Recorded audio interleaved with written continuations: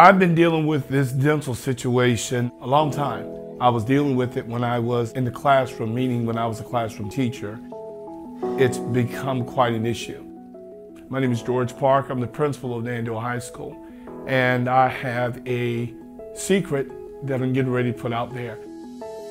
For the last 10 years, I've been dealing with a lot of dental issues. When you have teeth that are failing and have begun the process of failing, they're gonna continue to fail.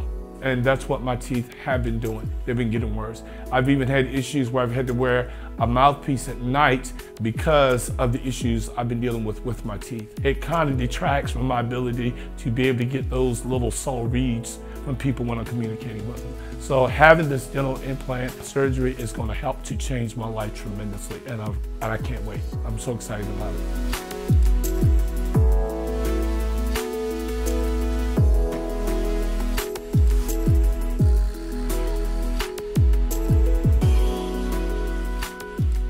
The surgery went very well today. We were able to get 10 good implants in.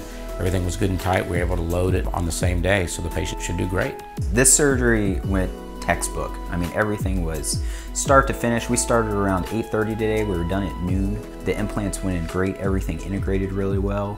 Right now, he had teeth that were breaking down and a lot of discomfort. So by the end of the week, all of that discomfort should be gone. And on top of that, he's gonna have a really great smile.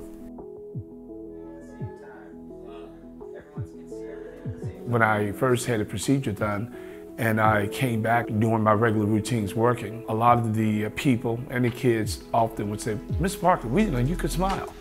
And it was really neat and it's really nice to know that I can smile and really express what's in my heart in terms of the expression on my face. So I'm really pleased with that. Pain wasn't that bad, quite surprisingly.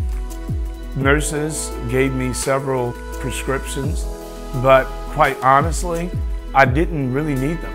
Dr. Sinclair and his wonderful staff were extremely affable. They were nice, they were kind. They called me several times after the procedure uh, was done just to check on me, and that really meant a lot to me. That wonderful relationship that we developed still continues to this day. So I'm very pleased with Dr. Sinclair and his staff. Outstanding job.